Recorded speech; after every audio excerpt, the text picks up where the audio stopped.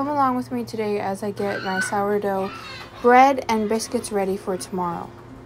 I'm going to start with sourdough starter that I had saved out in my last video for this bread. So I have about two cups of starter in here and add two tablespoons of salt, a quarter cup of oil, and then we're just going to go ahead and mix and add flour slowly to this. So now this recipe is basically the same as the easy sourdough recipe that we already have here on our channel. The only difference is that we're using a quarter cup of oil unlike we did in that last recipe. We're also going to be kneading this a little bit longer and putting a little bit more flour into it to make a little bit more of a firmer dough, which makes it great for scoring.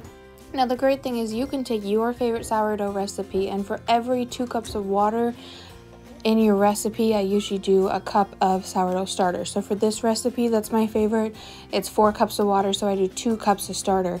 And you can turn any of your favorite yeast dough recipes into sourdough recipes. So we're to keep adding flour and more flour until we get the consistency that we want for our bread.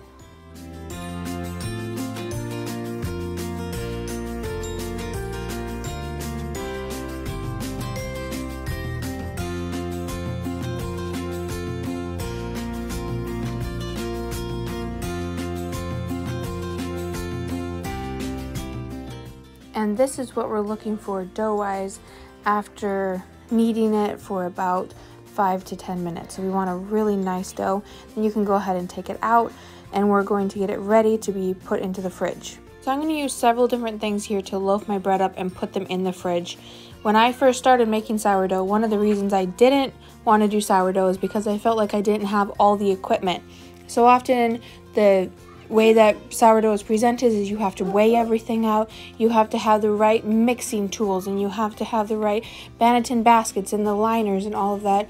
And it took me a while to figure out, no, I actually don't need those. We can make do with what we have. And so that's what I want to show you is you don't need all the fancy sourdough things in order to make good sourdough bread.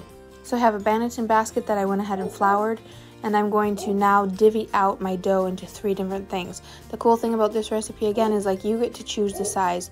So I have three different size bowls here that I'm going to use for loafing the bread.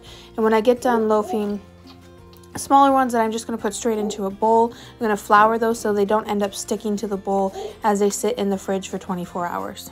Now if you would like those big holes in your sourdough bread, all you need to do at this stage is let it sit out for about an hour and every 20 to 30 minutes you want to take the dough and do a stretch and fold and you can look up all kinds of videos how to do that but basically you're just going to be folding the dough over on itself and that creates those air pockets so that you have that nice um, sourdough look. I find this really difficult with little kids because all their toppings that they want on their bread just drip through. So I usually don't do stretch and folds for that reason, but you can go ahead and do a stretch and fold and then loaf them up if that's what your family enjoys. So once I get done loafing them all up, I'm just going to plastic wrap all of them so they don't get crusty on the outside and put them in the fridge so that they can ferment for the night. Now I'm going to go ahead and prep one more thing for tomorrow. I already have the mixer out and I already have a mess going on, and that is biscuits.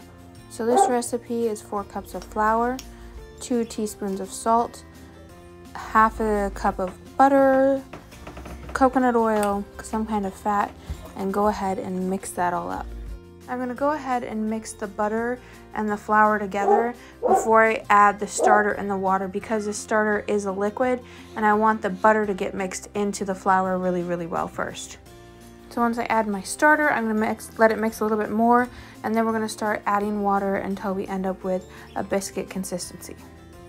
This finishes mixing, I'm going to go ahead and take it all off the hook and get it ready and wrapped and everything.